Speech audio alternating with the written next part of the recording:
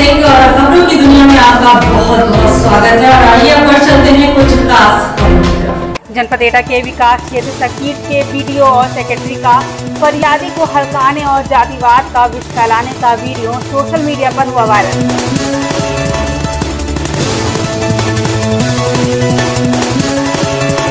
एटा से KKD news bureau Ragen Agariya की report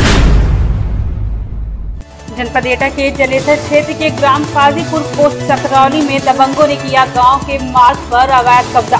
जाँच की शिकायत एटा डीएम से भी की गई, लेकिन अभी तक नहीं हो रही कोई भी सुनवाई।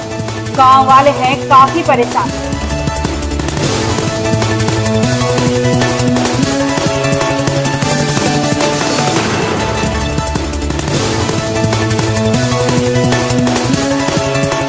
एटा से केकेडी न्यूज़ संवाददाता सर्वेंद्र कुमार की रिपोर्ट।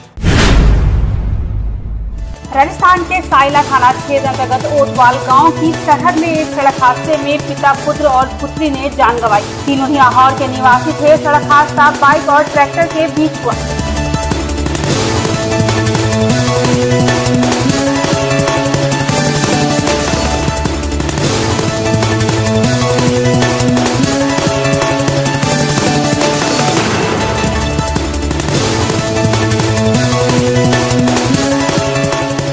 राजस्थान से केकेडी न्यूज़, संवाददाता भरत चौधरी की रिपोर्ट।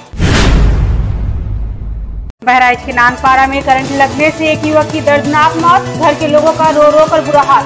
पुलिस ने शव को कब्जे में लेकर पोस्टमार्टम के लिए भेजा।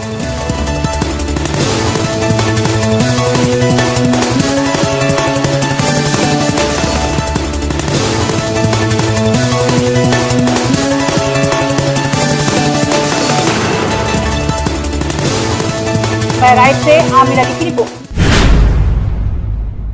महोबा में लो वोल्टेज व विद्युत की असीमित कटौती के चलते लोगों में आक्रोश। विद्युत केंद्र तैतीस केवी में जाकर किया प्रदर्शन।